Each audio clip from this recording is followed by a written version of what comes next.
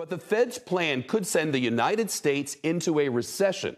That word, according to economists from Deutsche Bank. It's the first big bank to make such a bold prediction.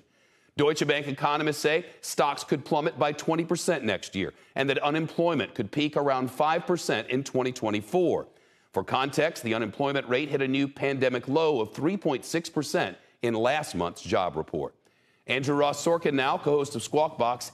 Andrew, it's really a pretty grim economic forecast, though the minutes really they didn't seem so extreme. Grim, grim is um, maybe in the, in the, in the eye of the beholder in this instance. You know, the economy is is doing remarkably, and the truth is, it's doing too well. That is actually the problem. I don't know if people want to put it in that context, but that's what is happening. It's doing too well, and wages are not keeping up.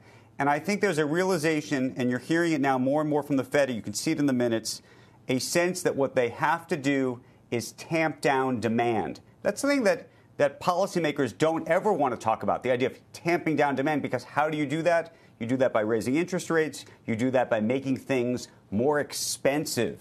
And that's where we are at this point. Yeah. The Fed is going to make things more expensive. How quickly they make things more expensive is the hard part and becomes becomes the issue of whether they can thread that needle, whether they can land the plane and make things just expensive enough or do they go a little bit too far? And then, as Deutsche Bank says, and I think you're starting to see a lot of folks on Wall Street talk about this, the possibility that they go too far or they go too quick, mm. and that unto itself turns us the wrong way into a recession. But if you look at those unemployment figures, 5% just contextually is quite a remarkable thing.